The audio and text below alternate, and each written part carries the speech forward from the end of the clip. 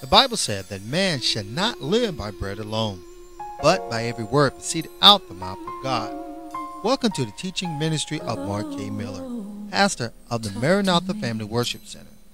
At the end of this dynamic teaching, we will give you contact information.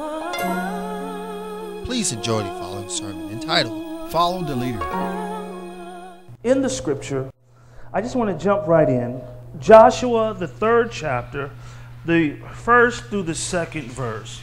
And, and it's, it's, it's actually Joshua 1 through 17. We're going to read the whole chapter, okay? But I want to just go with it beforehand. Before I start reading, I want you to understand something. I want you to understand that God wants you to follow leadership. Did you hear me? God wants you to follow leadership. Leadership, what you need to understand that leadership is the difference between a growing and a stagnant church, a growing and a stagnant business, even a family or a community. Are you following me? You need leadership. And God wants you to assume some leadership in your home. Hello, somebody. He wants you to be counted. The Bible says, let your light so what? Shine before what? Men. That they may see what? Your good works and glorify the Father which is in what? Heaven. So he wants you, you to establish leadership. And he wants you to follow leadership. Is that all right? And how many people, when they were younger, did you ever do follow the leader? And what the leader did, that's what you're supposed to do. I can't hear you. What the leader does, that is what you're supposed to do. So when the leader, see, here's the problem though, when you don't have good leadership, then you don't have good fellowship. So uh, let me just throw this out there, leaders of the Maranatha Family Worship Center, Church of God in Christ. Is that leaders? Do we come here on time? And if you don't come on time, how do you expect other folk to come here on time? Leaders, if you don't praise Him, how do you expect other folks to praise Him? Leaders, if you're falling out by the wayside of everything that happens in the world, how do you expect others to have faith in God if you don't have any faith? So today, today I want to talk to you just a little bit, just a little bit. And is I, I'm gonna keep you awake, brother. I'm gonna keep you awake. If you give me a chance, brother, you you be all right. Amen. Amen. Give give my nephew a hand. Amen. You'll be all right, brother. Joshua, the third chapter, the first verse. Here we go. And Joshua rose early. Now, wait, I, I, before I do that, I got to give you the history. I forgot to give you the history children of Israel have wandered in the wilderness for 40 years. It was coming to an end. The Bible says that Moses, my servant, is dead. Moses left instruction to take, he told Joshua to take the children of Israel over into the promised land, but they had to cross over Jordan. Now, Jordan was an obstacle that you need to understand.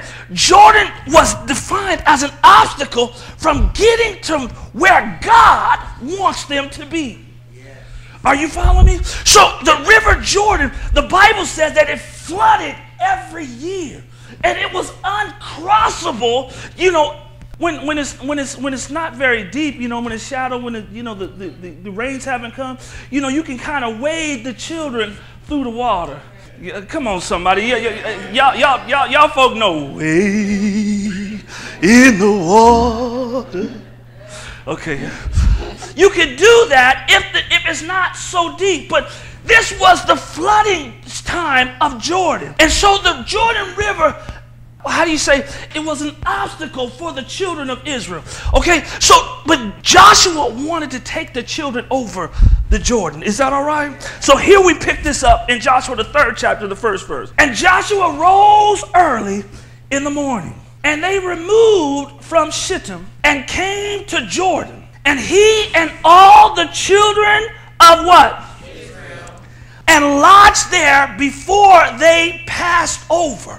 And And it came to pass after three days, the officers went through the host. Now, what you need to understand that the Bible told Joshua to camp at the River Jordan. And they had to wait there three days. Now, my question to you is why did they have to wait? The Bible says that they had to sanctify themselves to get ready for the crossing. Are you hearing me? Now, what God wants to do with us, He wants us to sanctify and prepare ourselves for the crossing.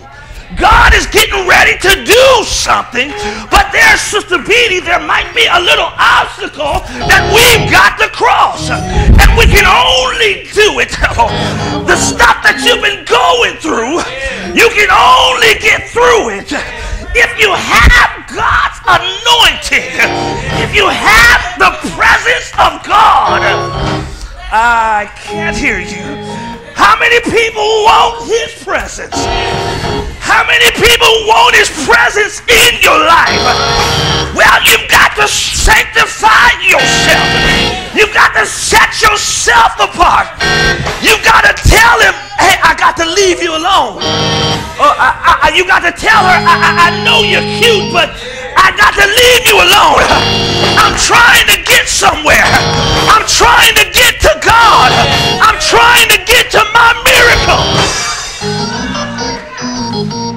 Am we saying? What am we saying? Sometimes you got to let some folks go when you're trying to get to your miracle.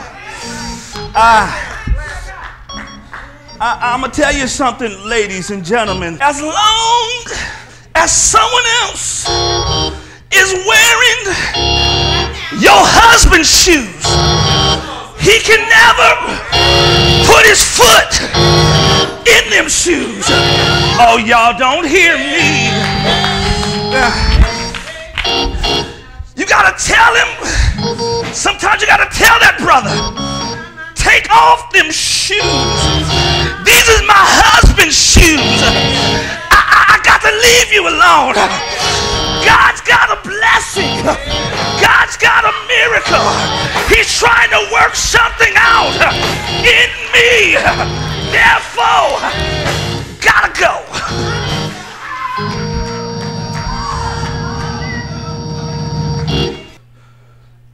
God. My son just went back to college and and we were talking. And we were talking about his basketball, and I said, you know what? More than anything, more than anything, y'all y'all stop. Stop all the heartache and, and, and, and the praise. More than anything else, I want my son to be saved. Because when it's all said and done, only what you do for Christ. Listen, listen, you can have all the money. You can take it, take it, take it. I want my son to be saved. I want my daughter to be saved. I want your son to be saved. I want your daughter to be saved. See, I, I can I just preach just a little bit? I just want to teach this. See, I don't understand. We put everything ahead of God. Can I just talk? And we want to know why our children go astray when they're old. I, I can't hear you. Listen, listen. I, am trying. I'm trying to say something. I'm, I'm, we're in this together, Sister Beatty. We're in this together. Do you hear what I'm saying? Right. I didn't have scares. Yes. I didn't have turmoil. I didn't have all kinds of stuff happen oh, in my. I ain't got time to talk about you and your kids. Right. All I'm trying to tell you what's right. Is that all right? Now, see, here it is. Listen, if we put in God first, if God is first, why is it that it seemed like other things come before God? I told my kids, I, I, I, can only say about mine. I told mine, and I'm, uh, and you say the, the message is follow the leader, so I'm, I'm okay. I told mine, sis, that yes, you play basketball, but yes, you will go to church. Amen. Amen. And when he had a game, here was his coach. When he had a game, he had a game at one o'clock. What did we tell him? You coming to church first, then you're going to then he said he had practice. They said they got practice at, at, at 12. I said, my son won't be at practice on no Sunday. I said, he'll, be, he'll come to a game, but he ain't going to practice.